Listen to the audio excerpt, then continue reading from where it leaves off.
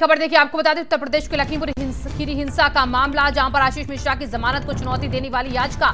जमानत को चुनौती देने वाली याचिका पर सुप्रीम कोर्ट में सुनवाई। यूपी सरकार ने सुप्रीम कोर्ट में हलफनामा दाखिल किया है। गवाह पर हमले और धमकी का आरोप गलत है। यूपी सरकार ने हलफनामा दाखिल करके बताया है कि जो गवाहों को धमकी देने का और हमले का आरोप लगाया जा रहा है, वो सरासर गलत है।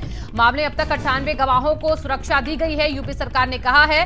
पुलिस सभी गवाहों से संपर्क करती है, ये भी यूपी सरकार ने अपने हलफनामे में कहा है। तो बड़ी खबर है और इसी के साथ यूपी सरकार का हलफनामा भी। अवैस, हमारे संवाददाता जुड़ चुके हैं। अवैस आशीष मिश्रा की जमानत को जो चुनौती थी उसको लेकर यूपी सरकार का हलफनामा क्या बता रहा है? साफ़ तौर पे कल उत्तर प्रदेश सरकार की तरफ़ से आशीष मिश्रा की जमानत को चुनौती देने वाली जो याचिका थी जो पीड़ित किसान परिवारों की तरफ़ से हम्म। दाखिल की गई थी उसमें एक जवाब दाखिल किया गया। उसमें जो आरोप किसानों की तरफ़ से लगाए गए हैं उन सभी का खंडन किया गया है।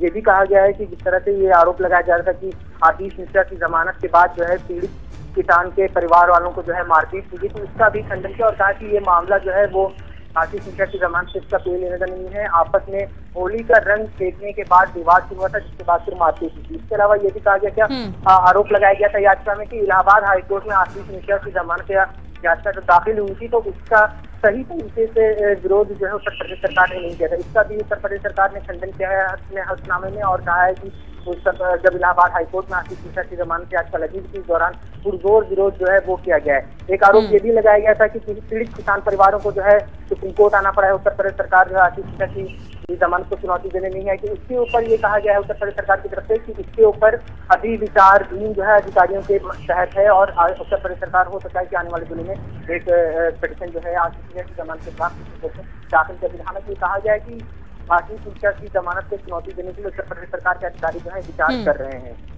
बहुत बहुत शुक्रिया अवैस तमाम जानकारियों के लिए आपका।